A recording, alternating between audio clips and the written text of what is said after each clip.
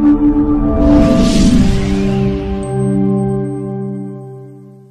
know, spanning over two decades, you have to agree with me that uh, I am not handing over to uh, a stranger, uh, and, and and therefore I'm, I'm feeling uh, extremely confident that um, the work that we've done together will be continued under, under uh, Honorable uh, Justin Muturi. Um, CS, um, I want to assure you that um, we have a great team here. Uh, this is a ministry, as the PA has, has said, that is um, uh, very, um, you know, um, very important and very pivotal in the in the in the affairs of uh, of our government, uh, because we are the software, we are the people, we are the hands. That uh, you know, um, when we talk about government, this is government. Anybody else claiming to be government is an employee of these people, including uh, His Excellency the President. Uh, the bosses are are, are, are here. Uh, and so therefore, uh, and this is very, very important point because the one million people who work for government of Kenya are all public servants. That's the definition, you know, and, and so uh, you are the biggest employer in the country uh, with one million people. If a HR department in uh, a company, a small company, is important, you can start to imagine the human resource department for one million people and so therefore it requires um, very diligent uh, management um, and I'm sure that uh, you'll be able to take forward from uh, the, the very great work that uh, this team are, were doing. What I would uh, tell you is, uh, first of all, from a human resource point of view, we were in the beginning of, um, of course, it's not easy to reform. You know, civil service reform, everybody has, you know, gone around that particular issue from back in 2005 when we initiated the, the, the, the civil service reform. Uh, is not, um, it's not an easy topic.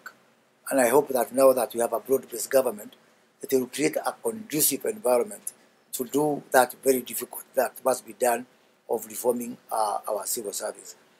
Uh, I'm sure PS will share with you uh, the, the figures this team have provided with me before, showing that, uh, of course, our age, our working working force is aging. Uh, uh, we have got quite, you know, around 20 to 30 percent of people working for government. Uh, by the time, hopefully, if you see uh, your term in this office to the end of this government, you'll go home with 30 percent of the people working for government. That's quite a number. That calls for very meticulous transition planning and very deliberate decision making as to what must be done because having 30% of uh, civil service uh, transitioning is, is, is, is not easy. Of course, productivity remains a huge issue. The wage bill in April, we hired the, the, the third wage bill conference, and it was very clear that uh, our wage bill is now uh, in the region of um, 46% uh, of uh, our tax collection, or, or no, of our GDP, I think and now we have to bring it down uh, to 35% in the next three years. We've signed commitment to that. I'm sure it's part of our handover document, the 10 commitments that we agreed together with the Council of Governors when, when His Excellency the President officiated over, over the, uh, the public uh, wage bill conference in Bomas of Kenya. So those are commitments that were done on live TV, they were done publicly, and um, uh, you know, uh, so it must be implemented. I'm sure that uh, that is one of the issues that you give uh, you give attention because if we do not do something about our wage bill, now starting at around 1.1 trillion. From now, from morning until now, we are working for public servants in terms of our tax collection. Only the taxes are to be collected from 3 p.m. mpaka kufunga kazi. That is what will go to the rest of Kenyans. So, and this is a huge issue. It's not just an economic issue. It is a moral issue because you people are only 1 million. You consume 1.1 trillion. We collect 2.4 trillion of taxes.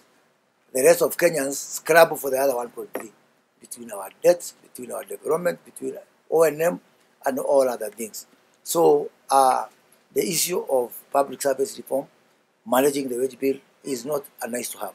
It is a must have, and I want to assure you that uh, uh, it requires some, uh, you know, some some some you, you need to, to stay the course. You know, it's not easy. uh, and, and uh, I can assure you that uh, you will not make uh, many friends. But um, uh, I will echo the words of the president during the wage bill conference. In this kind of a job, if you want to be praised, perhaps you need to consider a career in comedy. those are the words of the president during the wage bill conference because it is not easy and the things that are here are not going to win us a lot of, of friends. Obviously, we have got this huge issue of uh, ethic, work ethic. We try to resolve it the best way we knew how uh, by saying everybody must be on contract. you know, that's a decision uh, that the, um, the, government has to continue looking at it.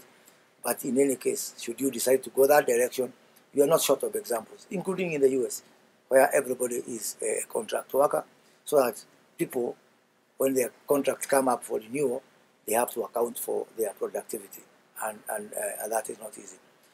Um, the other huge problem we are going to face is on um, the relationship between uh, this Ministry of Public Service and the Public Service Commission. Um, I am convinced from where I sit, I know as sure as day follows night, we are going back to Bomas. This constitution must be reviewed, and I will personally be on the forefront of that effort to, reform, to review this constitution.